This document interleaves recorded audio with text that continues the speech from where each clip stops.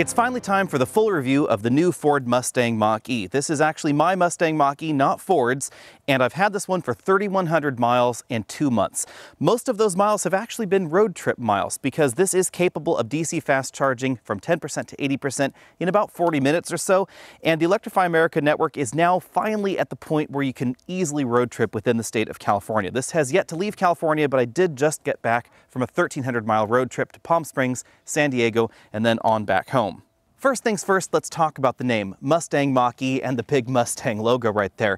It is interesting that there are almost no Ford logos anywhere on this car. You have to look really hard to find one. You won't find one on the front, on the back, on the sides, on the wheels, or even on the steering wheel. I have to agree with Mustang traditionalists that this is as much a Mustang as a Ford Expedition is with the Mustang logo on its front, but personally, I don't necessarily mind the name. Although I have to say that I generally refer to this car as my Mache rather than a Mustang Mach-E just because I think it's a little funny. Uh, we have this sort of a handlebar mustache look going on here. If we get the GT model, it gets more of an actual grill look, although all the cooling happens right down here in those opening louvers, full LED headlights, and you can see that my model now is sporting its clean air access stickers. This allows you to drive solo in the carpool lanes in California for three years after purchase. I don't really want to get into a debate about California's Clean Air Access Program. Personally, I do think it is a little bit defeating of the environmental goals of the program to allow solo drivers in anything to drive into that lane. But as long as the program is available, I am certainly going to stick stickers on my EV. Ford is calling the Mach-E a crossover. It has four doors, a few too many for a traditional Mustang shopper, and that makes this a direct competitor to the Tesla Model Y. And interestingly enough, the Mach-E really is one of the first direct Tesla competitors that we find in the United States. We've had some almost competitors out there. We've had some EVs and perhaps some plug-in hybrids that you might want to cross-shop with traditional Tesla models. But this is one of the first vehicles that has not only the silhouette of a Tesla, but also battery pack and motor options like we find in the Tesla lineup and affordable price tags because we have had an electric crossover in this size segment before, the Jaguar I-Pace, but it is considerably more expensive than this. We also have the upcoming Volkswagen ID4, but at this point in time, it's not available with all-wheel drive. It has only one motor, and Volkswagen says that they're targeting the RAV4 and CRV. And clearly, things are different with the Mustang because you can get this in rear wheel drive or all wheel drive, 266 horsepower, all the way up to 600 horsepower in the GT. And that GT model, they claim, will have a 0 to 60 time that is on par with the fastest Tesla Model Y currently available in the US. At 185.6 inches long, the Mach-E sits right between the CRV and the Ford Edge in terms of size. You'll notice that we have a pretty long hood, which definitely gives it a bit of a Mustang vibe, but the rest of this really just sort of looks like a Mustang had an allergic reaction, perhaps got stung by a bee and inflated a little bit. Although to be honest, I don't necessarily find that a bad thing. I find that this is sort of a cartoonish representation of a Mustang, but I think the look is undecidedly attractive. And one thing is for sure, this receives an awful lot of attention on the road. A lot of people are interested in what it is, why does it have a Mustang logo on it, what is going on back here with the Mustang logo and four doors, and is it really a Tesla Model Y alternative? So clearly I'm going to be talking a lot of Tesla in this video. I know a lot of folks are offended by that, but it's absolutely impossible to talk about a vehicle like this without talking about the elephant in the room. And because Tesla sells 80% of the EVs in America right now, they are the elephant in the room without question. From the side profile, you can see that this has the same general profile that we see in a lot of efficient vehicles and the coupe crossover trend out there. This is obviously for aerodynamics, but also trying to give this a relatively practical interior. We do have a hatch or a lift back, whatever you want to call this back here. Obviously that's good for cargo practicality, but you'll notice that it is definitely very horizontal, meaning that we don't find the same kind of cargo practicality that you'd get in a Ford Edge. The rear of the Mach-E is perhaps the most Mustang styled. We have full LED taillight modules here with amber turn signals, which is an interesting touch because this lower portion of the tail lamp stays red until the turn signals are on, at which point we get a progressive turn signal like you see over there on that side. We then have the backup light right down there in the middle. Most of this is hatch and we have a tiny little bit of, I guess you'd say faux trunk just behind that glass. According to the Ford folklore, the Mach-E started out as a boring compliance vehicle. Think something along the lines of the Chevy Bolt. But at some point in time, someone inside Ford decided that it needed to be exciting, hence the Mustang styling. and the mechanicals going on underneath the skin. Because this is one of the few EVs currently on sale outside of Tesla again that has two different battery packs, four different power levels, all-wheel drive or rear-wheel drive. You can get your choice of a 68 kilowatt hour usable battery or an 88 kilowatt hour usable battery. This is the larger one. EPA ranges between 211 miles and 305 miles. You can get 266 horsepower and 317 pound-feet of torque, 266 horsepower and 428 pound-feet of torque, 290 horsepower and 317 pound-feet of torque. This one right here, which is 346 horsepower, 428 pound-feet of torque and all-wheel drive, or if you wait for the GT model coming a little bit later this year, 600 horsepower and 634 pound-feet of torque. I've always found it odd that for some reason when people are shopping for a hybrid, fuel efficiency is the most important factor. But when it comes to electric vehicles, people forget about efficiency and instead they start talking about range. That's why Ford put an enormous battery on board the Mach-E. This battery is significantly bigger than the battery that we find in the Tesla Model Y. This battery is almost the same size as the larger Tesla Model X. It's nearly 100 kilowatt hours in terms of its nominal capacity. Usable capacity is 88 kilowatt hours at the moment. We don't know whether Ford will change that via software updates, but it's always possible. This vehicle is fully software updatable over the air, and actually today it just received its first software update supposedly a range of bug fixes. As far as efficiency goes, this does slot below the leaders in the EV segment at the moment, but the 270 miles of range is definitely achievable in the real world as long as the weather is like it is here, relatively mild, because we do not have a heat pump in the Mach-E. In this climate, this 270 mile range rated Mach-E should be able to get 280 to 290 miles if you're treating it gently. This averages between 3.1 and 3.3 miles per kilowatt hour. My rolling average over the 3,100 miles that I've owned this vehicle put it right at 3.1 miles per kilowatt hour, so above what the EPA says that it should be getting. Charging happens behind this door right here on the front fender. We find a standard J1772 charging connector and a CCS DC fast charge port. DC fast charge speeds will depend on the battery pack that you have and the DC fast charger that you connect this vehicle to.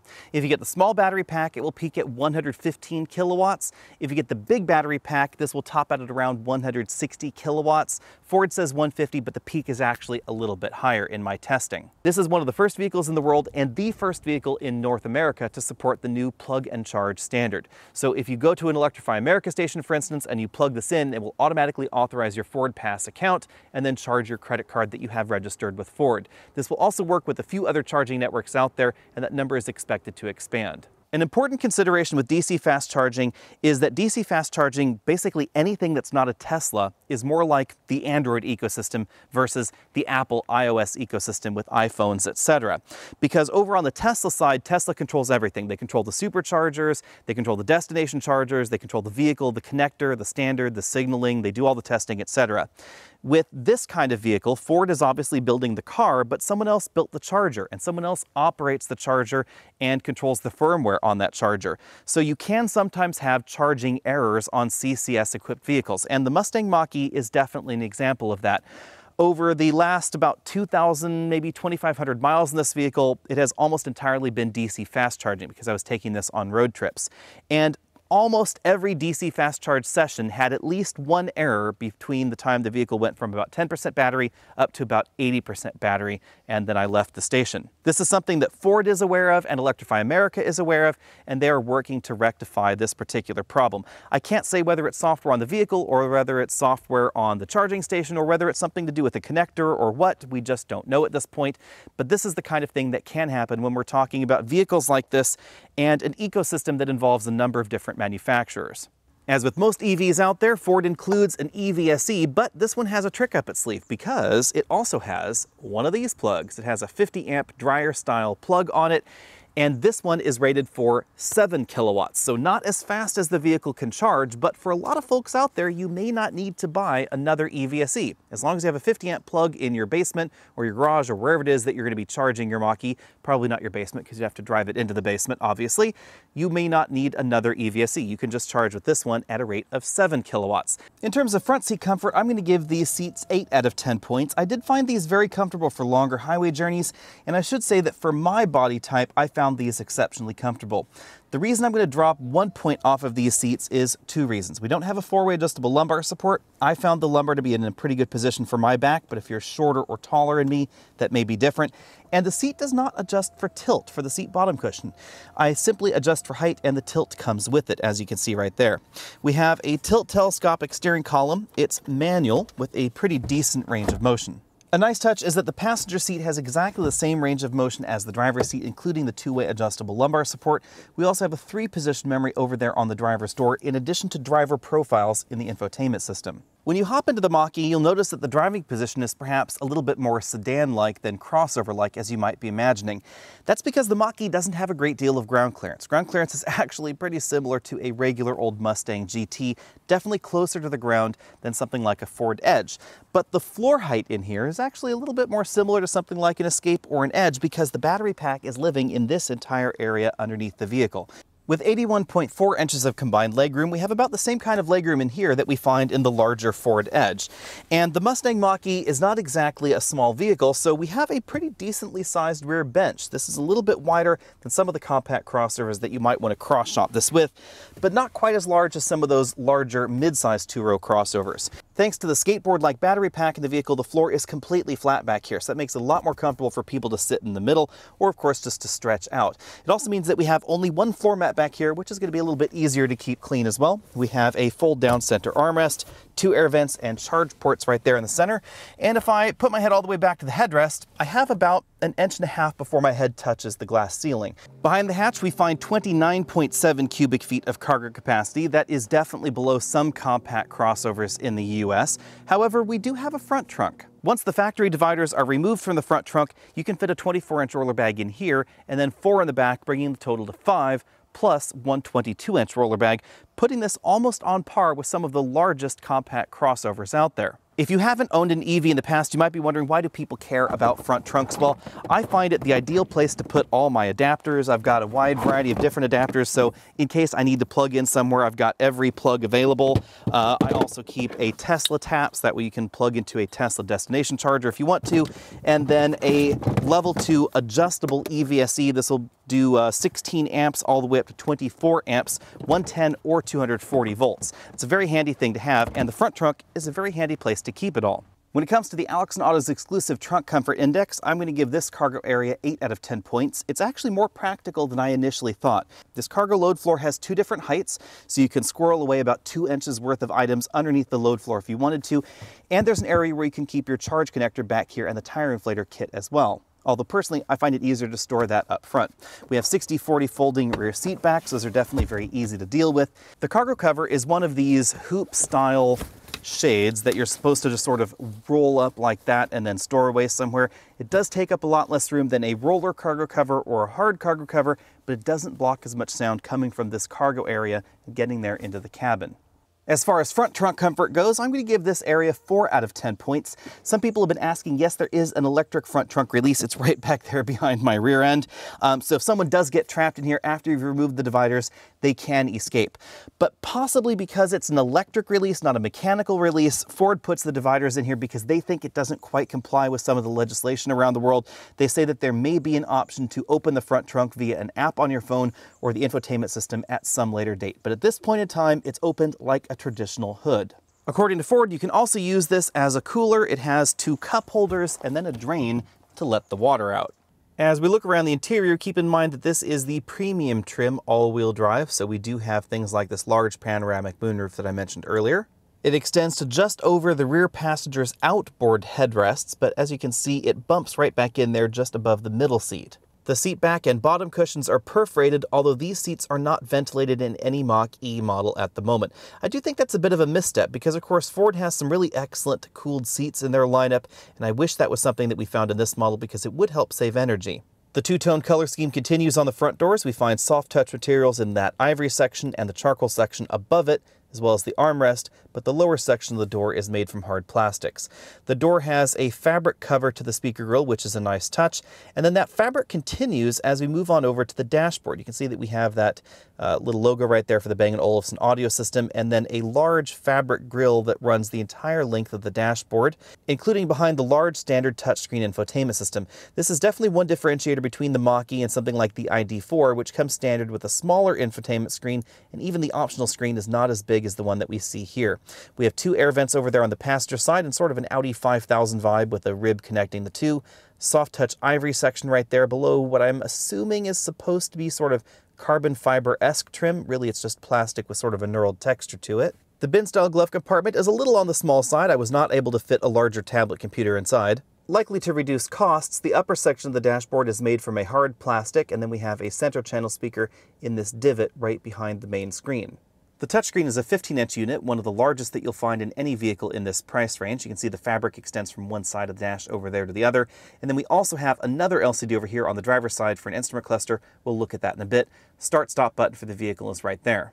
Smartphone operation will operate either wired or wireless, your choice. If you're doing short commutes, then you can just go wireless because it's pretty easy. If you're on a longer road trip, you might want to go wired because your smartphone is going to stay a little bit cooler and you don't have to worry about the charging aligning on that charging grid. So if I accidentally move my phone off there or I forget to put it back because I picked it up, you might find that you'll end up at your destination with a low battery. You'll notice that the display is now dark. That's because the system does have a light mode and a dark mode, your preference, or you can have it automatically switch for day and night mode. That's a nice touch that we don't find in all systems of this format. For instance, Volvo's systems allow a dark mode and a light mode, but doesn't automatically switch it for some reason. If I move on over to things like my trip computer, you can see that this uses that larger screen format a little bit more effectively. If I shrink it, we lose that how's my driving section right there. But some of these screens don't really give you extra info. Like tire pressure over there, I can expand it out and get nothing extra. The rest of the controls are pretty self-explanatory. We have the full climate control suite of controls there. E-Heat turns off the electric element heater so that way you can save a little bit of energy if you're in a really mild climate. If you want cabin heat, trust me, you're going to want that on. We then have two climate control zones for the right and left side, controls of the heated seats, heated steering wheel, as you'd expect, there are a wide variety of different vehicle options and settings to choose from. I'm not going to go through all of them, but you can turn on the propulsion sound and you can turn on one pedal drive if that's something that you're interested in. Personally, I don't like one pedal drive, so that's always off. Then we have three different drive modes, unbridled, whisper, and engage. You might be wondering what happens if I want to drive my car somewhere and I'm using phone as key and then I need to interact with the valet. Well, that's what we have valet mode for right down here. I can click the valet mode button. It will load the software. Once I've selected that mode, it gives me a temporary valet password, and you'll notice that the screen has returned to sort of the default theme. It's no longer using my driver profile. It gives us a passcode to enter the vehicle, and then a passcode that you can type into the infotainment system to start the car. I can then exit the valet mode because I have my phone as key in the vehicle, and then the system returns to my personal profile. The entry passcode is handled via these buttons right here on the driver's door. I really like Ford's implementation of this because you can lock the car using these buttons right here. You can unlock the car with your code. You can create a valet code that is displayed on the screen and sent to you via a message on your Ford apps that we have access to it as well. They can unlock the car here, enter that code in the infotainment system, and then drive the vehicle until you restrict it or remove it if you think that the valet is not doing things right. But this also means that if you want to go surfing or do something without your smartphone, you can enter the vehicle using this keypad right here and type in your own personal code that you can enter in that infotainment system and then start the vehicle, drive somewhere, lock the vehicle using this pad right here, and then not have to worry about a key at all. Another interesting touch with this system is that one display can be set to light mode while the other one is set to dark mode, or again, both can be set to one or both can be set to auto. You might be wondering what these flashing lights are down here. This is part of the facial monitoring software in the vehicle. That's going to be used for Ford's active drive assistant technology a little bit later in the year via a software update. This will basically give you a system similar to what we see in Cadillac Super Cruise system. I can't see them, but the camera can because of their wavelength. The LCD behind that is approximately 10 inches. It gives us things like the vehicle's range, status of the vehicle's active safety systems, radar adaptive cruise control, whether the doors are open or closed, and of course, your speed and the position of the transmission. A lot of folks I know have asked me, what do I think about this interior versus Tesla? Well, if you'd like an interior with turn signal stalks and windshield wiper stalks with buttons and switches, volume buttons on the steering wheel, cruise control buttons on the steering wheel, a volume knob for the infotainment system, an actual start stop button over there, physical buttons for your defogger, your headlights, the dimmer switches, of course, seat memory switches, window switches, doors locks, etc all of these are very, very normal cars. So if you'd like an EV, but you don't want it to feel too futuristic, this might be a good option for you. As you'd expect, there's a great deal of torque from these electric motors, so 0 to 60 happens pretty swiftly. 4.7 seconds is my official test time in this vehicle that I'm driving right now. That's just a hair faster than Ford's quoted time of 4.8 seconds and almost identical to the last time that I got in a Tesla Model Y. But there's a big catch. Tesla has since issued a software update to the Model Y dual motor that does make it notably faster than this, actually a little bit more than half a second quicker. It's now down there towards 4.1 seconds. And all that power is delivered with a strong rear power bias, so depending on exactly what you're doing, you can get the rear end to step out a little bit on you. Even though the electronics are definitely going to keep it under control, you can definitely feel it. The number that really impressed me with the Mach-E is the stopping distance, 110 feet. That's very impressive for a vehicle that weighs 4,838 pounds as I'm driving today, plus of course me in the vehicle. There's no denying physics. An electric vehicle like this is going to be significantly heavier than a comparable gasoline vehicle. This is significantly heavier, for instance, than a Ford Escape all-wheel drive. There are a lot of luxury performance vehicles that will stop right around 110 feet as well, and this did stop shorter than the last Tesla Model Y that I tested. I have to say that really surprised me because of the 225 with tires on here versus the 255 with tires that we find on the Model Y. Unlike modern Teslas, this does have a blended braking system, meaning that when I put my foot on the brake pedal, it's going to engage more regen into the battery. It doesn't just have throttle liftoff regen like we find in the Tesla. So whether I use one pedal driving or I use my own right foot, I should be getting about the same amount of power regenerated back to the battery as long as I'm driving fairly gently.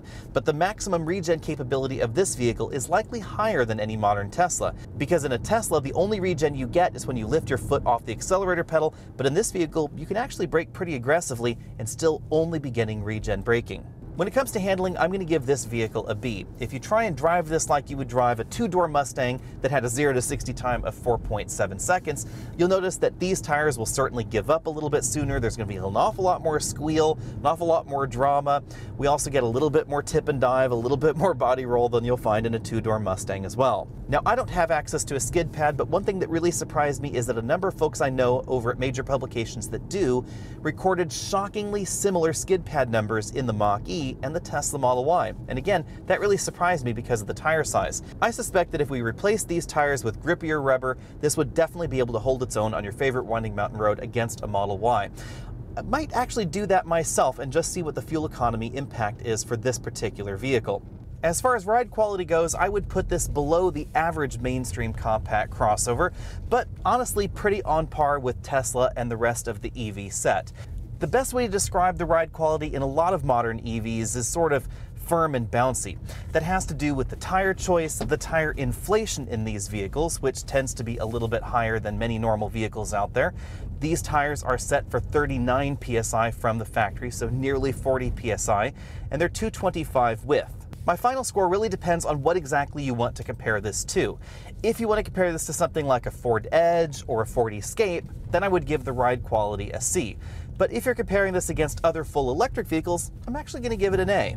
In my cabin noise test at 50 miles an hour, I got 71 decibels in here, so I'm going to go ahead and give this an A. That is substantially similar to other EVs out there. I think it could be a little bit quieter if we had a different kind of cargo partition back there, but the battery does a good job of soaking up some of the road noise. Remember, we have that big, thick battery between the road underneath the vehicle and me here in the passenger cabin. As far as efficiency goes, I'm going to have to give this an A minus. Range is very, very good. I've talked about that before. I've been easily able to get 290 miles out of this battery. On longer road trips, like from the San Francisco Bay Area to Los Angeles, I had absolutely no problem making that trip with just one DC fast charge stop in the middle. And in something like a Tesla Model Y, you'd have to make two. So even though this vehicle DC fast charge is a little bit slower than a modern Tesla, you might actually end up spending a little bit less time at a DC fast charge station depending on the distance away from your destination. If you're on a really long cross-country road trip, that's not going to make as much of a difference, but if you're routinely doing something like the San Francisco Bay Area to Los Angeles, it actually could make a pretty big difference. The reason I give the Mach-E an A- minus when it comes to efficiency is quite simply efficiency. And as I said before, some folks seem confused about EVs for some reason and what efficiency means. Efficiency is not talking about range because not all batteries are identical in capacity. This has a much bigger battery pack than the Model Y, so you'd expect it to go further on a battery. Check out my range video on that. But you might also expect this to get better fuel efficiency than a Model Y because it has skinnier tires, but that's not actually the case. The Model Y is going to be more efficient, and that means that for an hour spent on a charger, you're going to gain range a little bit faster, whether it's a 110 volt charger or a 220 volt charger, and the same amount of kilowatt hours will take you further in the Tesla Model Y. Bottom line with the Mach-E, this really does feel an awful lot like a Tesla out on the road, and that is not a diss, that is certainly a compliment to Ford. They've dialed in a very similar electric vehicle-like feeling, from the acceleration, the braking, the handling, the ride quality, etc. This definitely feels an awful lot like the Tesla or a Polestar 2 or any of those other new luxury performance EVs that we see out there. But the price tag on this is definitely more affordable than some of those other options, especially if you're willing to look at the standard range battery pack and the two-wheel drive model. Now let's take a deep dive into pricing and comparisons. For 2021, the Mach-E is going to start at $42,895. That gets you the smallest battery pack, 230 miles of range, rear-wheel drive, you get the 15.5-inch touchscreen infotainment system standard, and the over 10-inch instrument cluster as well. That model will go 0 to 60 according to Ford in 5.8 seconds. If you want the dual motor option, Gives you all-wheel drive, that's $2,700, interestingly enough less expensive than the all-wheel drive system we find on the ID4, and the 0 to 60 time will drop to 5.2 seconds. When comparing the Mach-E against the competition, remember that if you buy a Mach-E, you will still get the full $7,500 federal tax credit if you qualify for it. Be sure and consult a tax professional there. Tesla and General Motors have run out of federal tax credits based on their sales volume. Now, we don't know whether those tax credits will be reinstated this year. It's possible that they may, and that will level the playing field out, but at the moment, Ford still gets them, and the Model Y and the Bolt do not. If you want a premium trim Mach-E like the one that I have, that starts at $47,000. We get the panoramic glass moonroof, the B&O audio system, heated seats, and a heated steering wheel. All-wheel drive is still a $2,700 option on that, but you can get a bigger battery pack if you want to for $5,000, and you can either get that with rear-wheel drive or all-wheel drive. The one I'm driving is the all-wheel drive one with the bigger battery pack. If you're on the fence between the standard range and extended range battery, I would suggest getting the bigger battery pack. Remember that as the battery ages, its capacity will decrease. So if you're really depending on a 200 mile range for your regular weekly duties, remember that there could be a point in time where that 230 mile range model may not actually be able to go 200 miles on a full charge. If you want the fastest Mach-E, that's the one that's going to compete directly with the Model Y Performance, you'll find that on dealer lots later this year, probably around December, and it's going to set you back about $60,500 starting. Now let's dive into the competition. Obviously, the first competitor has to be the Tesla Model Y. At the moment, the Model Y starts at $50,490. Remember that this pricing is based on the day that I'm recording this video, Tesla seems to change their pricing quite frequently, so it's a little bit hard to keep track of that. That's going to get you 326 miles of range and the dual motor non-performance Model Y. Now, there is theoretically still a standard range Model Y that's available off menu that's a little bit less expensive, but I'm not really going to focus on that because who knows how long that model is going to be around. Rumor mill says that the current Model Y, Model Y is produced after about February, will have an 82 kilowatt hour battery pack on board, but it doesn't appear that any more of that battery is available to you as the user because they haven't changed the EPA range rating of 326 miles. That battery pack is larger than the base battery in the Mach-E, but smaller than the big battery. The big battery in the Mach-E is 98.8 kilowatt hours nominal, again 88 kilowatt hours usable. The front's actually a little bit bigger in the Mach-E as far as usability goes. I was able to fit one 24-inch bag up there, but only four 24-inch roller bags in the back. So interestingly enough, these two vehicles held exactly the same number of bags, just in different locations. Tesla clearly wins the charging speed battle here. It will charge at a peak of 255 kilowatts, and the average charge rate is going to be about 50% faster than the Mach-E. We don't know whether Ford will change that with any software updates in the future. It's possible that they could, but keep in mind that Ford seems to be much more conservative about battery pack longevity than Tesla does, so they really drastically slow down the charge rate once it hits about 80%. Now, how much difference that makes to you really depends on how you plan on using your EV. If you're not DC fast charging frequently, obviously it's not going to make much of a difference. Now let's dive into some of the gadgets in the vehicle. I think that Tesla's phone app is a little bit better baked, Both vehicles are using Bluetooth for communicating with the phone for the phone as key functionality, so both have the same pluses and minuses theirs. I think the software and controls are a little bit less intuitive in the Tesla, but they're a little bit better polished. And by that I mean that it doesn't seem to have as many glitches in the software as we find currently in the Mach-E's software. You won't find games on the Ford system. That's something that perhaps Ford could add later, but it doesn't appear that they're interested in that at the moment. Personally, I'm not a big fan of that myself. I just don't intend to play games in my car, so it's not a big deal to me. But I do love the fact that you can do streaming video in the Tesla system while you're parked and charging. That is definitely something that I like, because in the Mach-E, I ended up bringing my iPad with me so I could watch episodes of whatever while I'm sitting there for half an hour charging. Now let's talk about the Tesla Supercharger network, because I'm accused of not talking about that enough. Tesla has really integrated supercharging very elegantly into their models. The vehicles will tell you when and where to charge, how long you need to spend there, and they're really good at predicting the range figures involved. Now, at the time that I'm recording this, there are more Tesla supercharger plugs in the US, but fewer stations. Now, I don't consider that a huge advantage for Tesla, and here's why. 80% of all the EVs in the United States are Teslas. About 90% of all the DC fast charge capable EVs in the United States are Teslas, and over 98% of all the DC fast charge capable vehicles in the US that will charge at a rate of over 100 kilowatts are Teslas. So obviously they need the stations and they need the plugs. The practical result of this is that on a recent 1300 mile road trip with the Mach-E, I frequently stopped at station after station after station that was right next door to a Tesla supercharger station. All the supercharger stalls were full. Some of them even had a waiting line. And I was at an Electrify America station that was absolutely deserted. I was the only person there. Again, that's quite logical because Teslas outnumber DC fast charge capable vehicles that could charge as fast as the Mach-E by about 100 to 1. On the other hand, if you have a CCS chargeable vehicle, you are more likely to find an empty stall. Bottom line, between the Ford and the Tesla, these are both excellent vehicles, and a lot of this really will come down to personal preference. There are certainly pros and cons on both sides for these cars. The extended range all-wheel drive premium trim Mach-E will however be less expensive than the base Tesla Model Y. Next up we have the Volkswagen ID4. It starts at $39,995, so about $3,000 less than the Mach-E. One thing that surprised me, however, is that all-wheel drive is a pretty spendy option, $3,680. That's not available at the moment, that will come later in 2021. Also, we're going to get a much smaller infotainment system and a smaller LCD instrument cluster in that model. If you want the model with the 12-inch infotainment system, so still smaller than the one in the Mach-E, that's going to be $44,495 Blue is offered in that model. If you want the base one, you get silver, white, and black only. If you want a red ID4, that will set you back at least 46,390, so pretty close to the premium version of the Mach-E to be honest. The big advantage for the ID4 is the cost of operation because Volkswagen is including three years of free DC fast charging, unlimited DC fast charging at Electrify America stations with the purchase or lease of every ID4. So if you lease an ID4, the lease price is really cheap and you won't pay anything to fill it up if you plan on stopping at DC fast charge stations all the time. Obviously, if you charge it at home or at work, you're going to have to pay for that, but that might encourage some folks to just run out to their local EA station every week and just top up for 30 minutes, get that free electricity. Since the Mach-E wears a Ford logo on it, not a luxury brand logo, let's talk about another mainstream option that you might be considering, the Toyota RAV4 Prime. The RAV4 Prime is in very limited supply right now, actually a little bit more limited supply, honestly, than the Mach-E.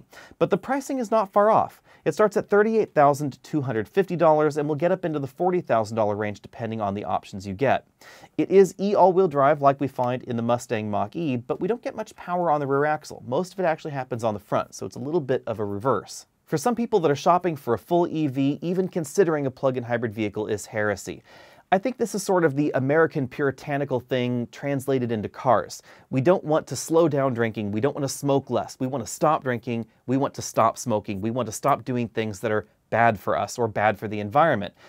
But the RAV4 Prime is really a very pragmatic option because it's gasoline mitigation. You're not eliminating the gasoline consumption, but you can have a very drastic impact on that gasoline consumption with a different set of resources consumed. So for the 98.8 kilowatt hour battery pack that's in the Ford Mustang Mach-E, you could have built quite a number of hybrid and plug-in hybrid vehicles, and arguably those vehicles would have had a bigger environmental impact than simply one EV.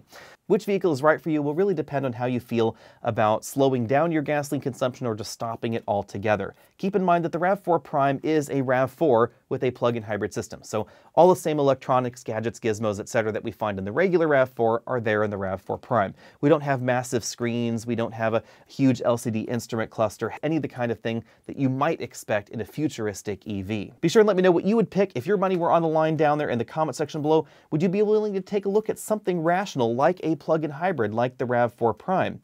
Keep in mind that I did buy the Mustang Mach-E, but if I were spending my own money and keeping the vehicle long-term outside of this sort of experiment of trying to get the Mach-E and keep it for nine months to a year, I suspect I would probably buy the RAV4 Prime because it would have the ability to do those longer road trips without stopping for 30 or 40 minutes, but it would completely eliminate my daily gasoline consumption. Let me know what you think about all that down there in the comment section below. Find me over at facebook.com slash alexonautos. And of course, check out the merch store where you can buy shirts right like this one. I'll see all of you next week.